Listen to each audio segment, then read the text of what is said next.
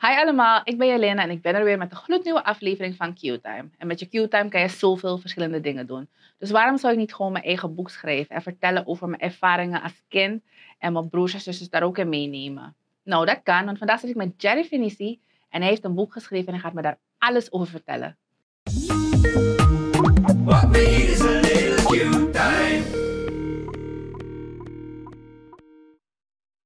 Hi Jerry. Hi. Je weet niet hoe ik heet, hè? Nee. Is niet erg, is niet erg. Ik ga je nu Wat zeggen. is je naam? Jelena.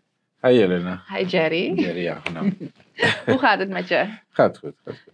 Je hebt, eh, je hebt een boek geschreven. Ik heb een boek geschreven, ehm, eigenlijk in 2017 ben ik begonnen. Mhm, Ik heb hem zes maanden erover gedaan. mhm. En daarna heb ik het een beetje laten liggen. Eh, toen kwam corona. En in 2023 ben ik begonnen met de uitgever. Om het proces te bewandelen met uit te geven. En het is 31 januari uitgekomen in Nederland. Dus het is helemaal gelukt. Oké. Ja. Van waar je ook komt. Zo heet het. ja. Dus, dus ja, ja. Nee, ik, ik heb het net gelezen. maar van waar die gedachtegang, van waar je ook komt. Want van waar je ook komt, je kan van alle kanten ermee omgaan. Nou, specifiek. specifiek over de titel is dat. eh, ik wanneer je praat met mensen, heeft iedereen een verhaal van waar ze komen. Mhm. En ik vond het zo pakkend, omdat wanneer ik zeg van waar je ook komt, dan denkt iedereen al gelijk aan: oké, deze persoon heeft een extra verhaal te vertellen, heeft iets extra's meegemaakt om te komen waar die is. Dus dat was de, de, de, de inspiratie om die titel te, te kiezen. Ehm, en het verhaal zelf gaat eigenlijk daarover. Het gaat erom dat ehm, het, is een, het is een inspirerend verhaal met heel veel levenslessen, waarbij mensen, eh, vooral jongeren, en het is gericht echt op jongeren, 16 jaar. Oké, Nou, dus niet van mij. eh, Oké. Nou, ik voel, het- oké. je kan het ook lezen natuurlijk. Maar ehm, het is echt gericht op 16-jarigen. Tussen 16 en, zeg maar vanaf 16 jaar. En Dus.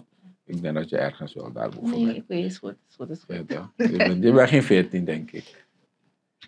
Oké. nee. En, en het handelt over, eh, het, het gaat om een jongen. Ja, dus dat zou ik net vragen. Waar gaat het verhaal nou eigenlijk over? Want in ons vorige gesprekje gaf je aan, je hebt de herinneringen en de ervaringen met je, met je broers en zussen ook erin meegenomen. Je achtergrond, van waar je komt, hoe ver je hebt geschapt in het leven. Dus iets wat, er is eigenlijk wel een rode draad in het verhaal. Dat maakt niet uit van waar je komt. If you want it, you, you can get it. Maar what is this story about? Zo, dit verhaal is eigenlijk gekomen uit eh, een vraag die ik had voor mezelf. Ehm, als je kijkt naar de hogere onderwijsinstituten in Suriname, zie je minder jongens. Dus de vraag is, waar blijven die jongens? Zoals je weet, een samenleving opbouwen, bouw je op met vrouwen en met mannen. Je kan het niet met één, één van de seksen alleen doen. Dus je hebt beide nodig. En met die vraag ben ik dan in mijn omgeving gaan kijken. Eh, op de lagere scholen zie je nog een normale verdeling, maar naarmate je hoger opkomt, zie je minder jongens. Dat is één. En tweede is ehm, de struggles die, die jongens meemaken. Dat zie je gelijk wanneer je begint. Ehm, dan zie je dat jongens vaker, ook in gezinnen hier in de stad of in achtergestelde buurten, zie je dat jongens vaker, zolang het gezin in problemen komt, is het de jongen die als eerst gaat zeggen van oké mam, ik ga werken. Of, of die werd zelf gestuurd door de moeder van, hey, weet je, laat school verlopen, ga werken of ga, avond, ga naar de avondschool of zo. En dan krijg je een situatie waarbij jongens dan makkelijker in verleidingen komen. En, en dingen leiden ze af van school. En, en dit verhaal begint dan in Brokopondo met een jongen. Hij, ehm, hij zit nog op school wanneer het verhaal begint. En, maar dan komt hij gauw in de afleiding van dat district. En in Brokopondo is dat heel, de go- goudwinning is een heel grote. Mhm. En, en van daaruit speelt het zich af naar ehm, eigenlijk een leven als drop-out. Eh, want dat maakt hij ook mee. En dat hij de gelegenheid krijgt om naar de stad te komen en dan weer naar school te mogen gaan. En dat toch nog door alle eh, struggles heen, toch nog succesvol te kunnen zijn. Mind you, als een kind uit, Brok, uit, komt of uit het binnenland komt. eh, en ik denk dat hetzelfde gaat zijn voor, voor een kind uit, uit de polder van Nikeri. Wanneer zo'n kind naar Paramaribo komt, dat het een hele sociale eh, Shock is. shock kan zijn. Ja. En, en die moet zich aanpassen eh, aan de omstandigheden van Paramaribo. En, en die heeft dan een, een extra uitdaging. En, en van, vandaar de, de vraag steeds. Het maakt niet uit als je, als je, als je een drop-out bent. maakt niet uit als je van Nikeri komt vanuit de polder. Van Burkopondo uit de goudvelden. eh, Marowijnen. dus, eh, vanuit Marowijnen. Uh-huh. Albina, maar dat maakt niet uit. Zolang je je mindset. ehm, en, en we spraken eerder over de, Mhm. de attitude die je, moet, die je aan de dag moet leggen. Zolang dat goed en positief is, dan kan je het wel maken. En dan hoef je niet een ingenieur te worden of een arts of zo. Maar ja, een, een, een zeer gewaardeerde bouwvakker is ook goed. Want die hebben we ook nodig in de samenleving. Definitely, want als je daarmee gaat overlaten, gaat, gaat jullie huis instarten. Dat, dat, dat. Daarom zit ik hier. maar Maar zie je mensen zoals jou hebben we ook nodig, een goede interviewer. ik doe mijn best, ik doe mijn best. Het is wel heel mooi, want je verhaal op zichzelf, los van het boek, is ook bijzonder. En om een boek te krijgen van iemand die zelf zeg maar, uit Broekeponde komt, die als geen ander kan weten wat, wat de struggles zijn en, en de valkuilen of, of de redenen waarom je niet meer naar school zou gaan of stopt. Ehm, en dan zo'n boek uitbrengt en zegt, het maakt niet uit van waar je komt. If you put your mind to it, if you uh, adjust your attitude, if you keep your eye on the prize, dan, dan, dan lukt het wel. En nogmaals, society kan zeggen van, je bent pas goed als je ingenieur of dokter bent. Maar als ik gewoon, wil net een verkeerd woord zeggen, maar als ik een steengoede bouwvakker ben, dat mijn altijd gewoon 90 graden van de 80 graden, of welke van die graden het moet zijn om een goed huis te hebben, dat het stabiel is, dan, eh, Dan heeft die arts jou nodig, toch? exactly. Dan moet je huis bouwen voor die arts. En ik denk, mijn, mijn verhaal zelf, ehm, ik, had, ik had genoeg valkuilen Hm. on my way to waar ik vandaag aan de dag ben. Ik heb, eh, ik, ik, zoals ik eerder zei, ik ben geboren in, in Brokopondo. En een van mijn grootste, eerste uitdaging, nou toen was ik heel jong en het verhaal is aan mij verteld. Mhm. Eh, bij de Maron, als je, eh, als, je, als je jong bent, eh, rond één jaar zo, dan, word je, ehm, dan moet je stoppen met de borstvoeding. Is dat zo? Ik was vier toen ik ben gestapt dan. Nou, ik, ik was één. Ik weet niet als het wet is dat, is dat het bij één moet gebeuren, maar ik was één toen. En misschien was mijn moeder gewoon al moe van me. en ehm, dus mijn vader ging net een, had nieuwe, net een nieuwe baan gevonden bij Vedra. Het is een, ongeveer een uurtje vanuit Bronsweg. Mhm. Het is een O- O- Opepalm eh, Mhm. bedrijf. Die bestaan niet meer, of Victoria en Vedra. En ik moest met mijn vader gaan. Op Zodat- eenjarige leeftijd. Ja, ja, ik was met mijn vader mee. Je moest gaan helpen werken? Nee, nee, nee. Oh. Ja, Oké. ja, dan is ik Oh. super. Dat zou ik vandaag, zou Oké. ik vandaag niet eens Oké. ik. Was Nee, ik. Elon Musk of something. nee, nee, nee. nee. Ehm, die afstand met mijn moeder, ik denk dat dat zou helpen voor die eh, afleiding, voor die borstvoeding. Oh, oké. Dus ik ging, ik ging bij mijn tante blijven als mijn vader ging werken. Mhm. En s'avonds was ik gewoon bij, mijn- met mijn vader thuis. En weekends gingen we weer naar mijn moeder. Mhm. En ehm, dat was, dat was een, eigenlijk een verhaal die mij verteld is. En dat is voor mij mijn, denk, mijn denken van. Een jaar oud was ik al weg van mijn moeder voor vijf dagen in de week. En waarschijnlijk is dat ook meegekomen in mijn gene. Want ik Mhm. ben ook gewoon vijf dagen altijd uit huis. Ik, ben niet, ik werk niet vanuit huis. Door de Mhm. week ben ik er niet. Weekends ben ik thuis. En eh, dat was mijn Je eerste, moet dat tweede. niet zo op tv zeggen, dat we weten dat je vijf dagen in de week niet thuis bent. Nou ja, ja, ik denk dat mensen dat weten. Mensen die bij Roosebel werken, die. Die, eh, maar ja, ik heb beveiliging, dus ik denk dat mensen Nee, daarvan... jullie eh, zijn gewaarschuwd. Dus dat precies dat. Mhm.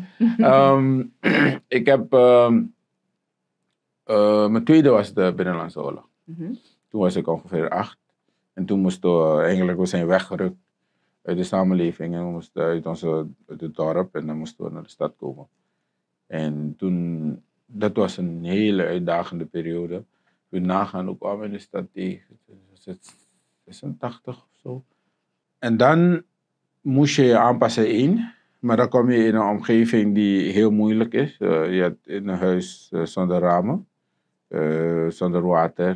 Je moest watershop, bijna één kilometer afstand. En dan moest je gelijk aanpassen in, op de scholen. Society, En, Nederlands blunders- praten, blunders met taal is, is Uh-huh. ook beschreven in dat boek. Mhm. eh, waarbij ik eigenlijk Nederlands niet kon spreken. En eh, ik heb wel eentje geschreven in dat boek, maar dat was niet van mij hoor. Het is Mhm. eentje dat ik eh, laatst heb meegemaakt. Nou, laatst tijdens het schrijven mee, mee, mee- Mhm. meegemaakt. Waar een jongen zegt tegen een meisje, ik wonder je. In dat boek is het ook zo Mhm. beschreven. Nou, maar als hij dat is- vindt. Ze weet wat hij ik- bedoelde, Ik toch? wonder, ik wonder je. Ik denk dat ze, ze had het niet begrepen gelijk. Dat is haar fout. dat is haar fout. Maar hij bedoelde, hij bedoelde ik bewonder je. Ja. En zo heb je van die blunders die je slaat als, als persoon. En, en eh, ik, ik, kwam, ik was in de la, op lagere school en je weet, kom, kom er week. Daar heb je gelegenheid om dingen te maken. Mhm, En eh, we waren vliegers aan het maken en ik had een mes nodig. mhm. En de Saramakaan zeggen we fakka. In, het, in Nederlands of strana is het neefje of, of mes in Nederlands. Dus, en ik zei van, eh, maar ik, ik moest nadenken toch, want ik kon niet op het woord komen. Dus ik zei, hé, hey, fakka. Jima fakka no. Mhm, En toen was de klas stil. Wat, waarover heb je het? mhm. Weet je, iemand zei van, eh, die een andere Saramakaanse jongen zei van, nou, je moet zeggen neefje of mes. Mhm. Weet je, dus dat soort dingen. En dan, en dan je maak je dat klein in alles dat mee. moment, hè? Ja, en het is niet, het is, het is, nu is het makkelijk om het te vertellen, maar toen was het niet leuk. Ja, ik kan me Weet voorstellen. je, toen was het niet leuk. Je, werd, je, werd een beetje, je voelde je een beetje gediscrimineerd. Ik weet niet als je echt gediscrimineerd werd. Maar eh, het is, ehm, ja, dit zijn sommige van die struggles die ik heb meegemaakt. Ja. Om te komen waar ik vandaag aan de dag ben. Ehm, gelukkig. Is het je geluk? Het is je geluk. Ja, Want zoals je aan het begin zei, van waar je kwam, je hebt besloten voor jezelf, je gaat iemand worden in de maatschappij. Regardless of anything. Zo al je ervaringen en de ervaringen van anderen heb je gewoon in een, in een boekvorm uitgebracht. En ehm, dit is nu gewoon voor Nederland. Want ik, ik bladerde door en ik zag dat er al e-books eh, te ver- verkrijgen zijn en everything. En in Suriname kunnen we dat ook gewoon niet halen. Maar als iemand nu kijkt en denkt van, hé, hey, ik, ik kan me identificeren met zeg maar twee van de ervaringen die je net met ons hebt gedeeld. En de persoon zou het willen lezen. Waar zou deze persoon moeten gaan? Of wat moeten we doen als we eh, in aanmerking willen komen voor dit boekje? Nou, dat boek kost 800 SRD. We gaan direct met de prijs beginnen. Ja, dat is first things En dan, first. en dan kan je hem kopen. Je kan hem kopen bij mijzelf. Ja. Eh, mijn Facebook page mijn, mijn informatie is op Facebook. Mijn naam is Jerry Vinici. Je kan gewoon schrijven. Dan zie je alle informatie over dat boek. Hij is ook een page voor dat boek gemaakt. Dus Mhm. dat is één. Twee, je kan hem kopen bij atlantis.sr. Voor de Mhm. mensen die niet fysiek ergens willen gaan om het te kopen. Mhm. Eh, of je kan het kopen bij Sanish Book. Mm. Oké. Dus dat zijn de, de drie plekken eigenlijk waar je in Suriname kan kopen. Als je in Nederland bent, dan kan je hem bij basically overal kopen. Bouw.com, Amazon.nl. Als je in Amerika bent, Amazon.com. eh eh, Barnes Noble. Dus het is echt gewoon te kopen op alle internationale boekenwinkels. Er is geen limiet om, of er is geen eh, blokkade om aan dit boek te komen. Nee, het is helemaal geen blokkade. Ik denk in Suriname is het nog een beetje beperkt, maar in het buitenland denk ik dat het veel makkelijker is om het te krijgen. Maar ehm, maak contact als je geïnteresseerd bent en zorgen we ervoor dat je een exemplaar kunt krijgen. Oké, en stel, oké, ik wil het kopen bij eh, Jerry Venici zelf. Krijg ik dan een gesigneerde kopie of eh, krijg ik het gewoon zo? Ja, als je, als je gesigneerde kopie. Nee, 100%. We hebben, we hebben op eh, 18 april hadden we de launch. Mhm. En toen hadden we misschien 100 stuk zo verkocht en eh, allemaal gesigneerd. Dus Nice. als je het bij mij koopt, dan krijg je nog een extra. Zie je, ik heb het voor jullie geregeld. Want jullie moeten bij hem bestellen. het komt goed. Ja. Nou. Jerry, ik vind het, eh, of ik vond dit gesprek een bijzonder gesprek. En ik ben blij dat je dit met me wilde delen. En ehm, ik ken je niet, maar ik ben super trots op je. Dat je hebt doorgezet, regardless of the struggles die je hebt ervaren. En besloten dat je gewoon gaat zijn wie je wilde in deze maatschappij. So, eh, ik zou zeggen, keep on going. En ik hoop dat iedereen je boek koopt. Because especially de mensen die zich goed kunnen identificeren met jouw verhaal, gaan lezen en, en gaan beseffen dat if you really want it, you can do it and you will achieve it. 100% en jou natuurlijk ook bedankt voor de tijd. Ik denk dat het was een leuk gesprek. Ik ken je wel, Oh, oh hè? van hier. Oh, excuse me. Nadat ik je net mijn naam heb gezegd. Nee, nee, nee, is goed. Nee, nee, ik denk dat, eh, dat het eh, het lezen waard is. Het zit vol inspiraties en motivaties. Ook voor jongens die denken dat hey, kan niet, het is geen is einde. Als je dit leest, kan je toch wel misschien iets eruit halen die je misschien wat richting kan geven om door je struggles heen te komen. Want die, die zijn er altijd, die zijn er altijd geweest, die zullen er altijd zijn. Dankjewel. Graag gedaan. en jullie thuis ook bedankt voor het kijken. Vandaag was Jerry Venici bij ons in de studio en heeft een boek geschreven. Een boek dat heet Van waar je ook komt. En in het verhaal gaat het erover welke struggles je ook mag ervaren. Als je het echt wil, ga je het bereiken. Maar ik kan niet alles vertellen, want ik heb het zelf nog niet gelezen. Dus ga je het gewoon direct kopen. Jullie kunnen het bestellen bij Jerry Venici. Er zijn een aantal sites. Er is ook een eigen Facebook-pagina over dit boek. En daar staat alle verdere informatie. Als je bij Jerry zelf bestelt, gaat dit voor je signeren. Dus als je iets extra wil, ga naar Jerry. But get the book. And remember, your time plus my time is Q time.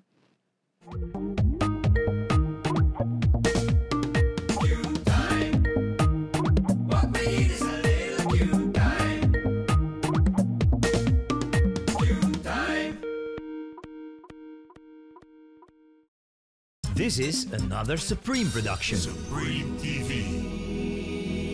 To entertain, to inform, to inspire.